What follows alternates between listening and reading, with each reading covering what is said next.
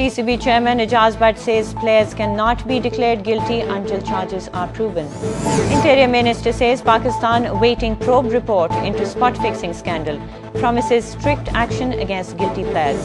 18th Amendment case hearing underway. AG Singh says judges should be appointed on provincial quota basis while Chief Justice says states should discourage provincialism. Gas supply to more than 3,000 factories in Punjab and KP will remain suspended from 13th to 17th of September due to increase in gas shortfall. And four US soldiers killed in a bomb attack in Afghanistan, bringing the toll of American soldiers to 21 dead since Friday.